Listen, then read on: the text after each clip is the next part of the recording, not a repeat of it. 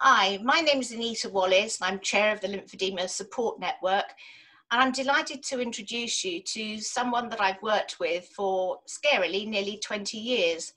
Uh, Professor Peter Mortimer, he's the LSN's chief medical advisor and leading lymphedema specialist both here in the UK and overseas.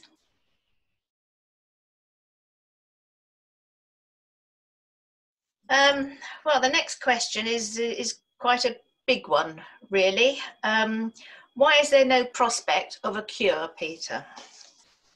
Well, I would argue there is always a prospect of a cure.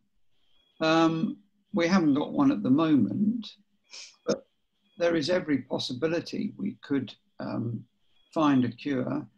I think it's important to point out that a cure implies that you've corrected the fault that's caused the disease or the problem.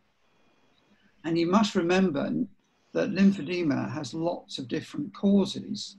So, for example, in our work in genetic forms of lymphedema, there may be many different mechanisms or reasons for the lymphedema as determined by the gene fault. For example, uh, there may be too few lymph vessels, so the cure there would be to grow more lymph vessels.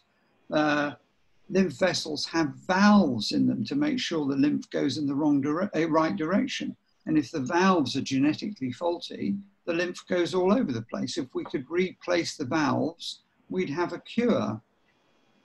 Um, lymphatics pump.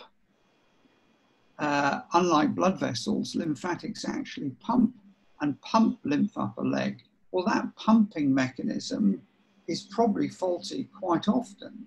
The difficulty is we have no easy means of looking at the pumping in humans and knowing when it's wrong and what factors uh, might improve it.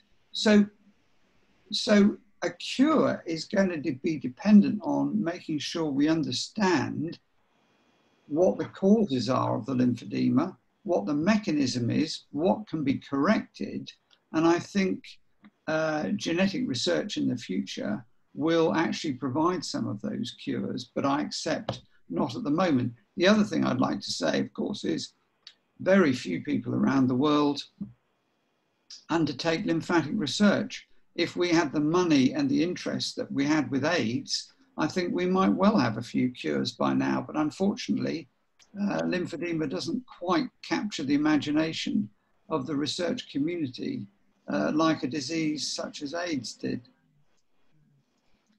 Thank you. Clearly, it's a very complicated topic. Yes.